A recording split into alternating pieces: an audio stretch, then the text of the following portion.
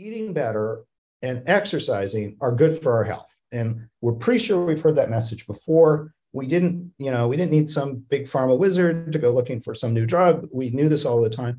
And to some extent, you're absolutely right in the sense that I'm just telling you that diet and exercise are good for you. We've already known that. Uh, 10 years ago, uh, there was a, a, trial called the Finger Trial out of Finland, where they did almost essentially what I just did a randomized uh, prospective clinical trial. They didn't get dense data. They were just testing to see whether multimodal interventions worked. And they found more or less the same effect I did.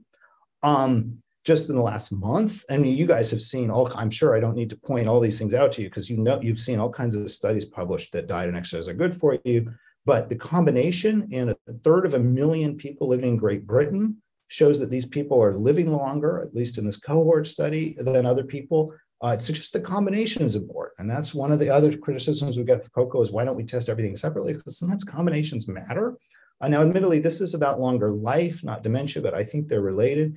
And then just in the last week or so, this was also kind of gratifying. A group did a purely theoretical analysis based on uh, many of the graphs that I draw on as well. And they were trying to predict what intervention would be most effective for treating Alzheimer's. And out of all of the drug and lifestyle interventions they looked at, exercise was the single biggest factor. And so, again, everything fits together.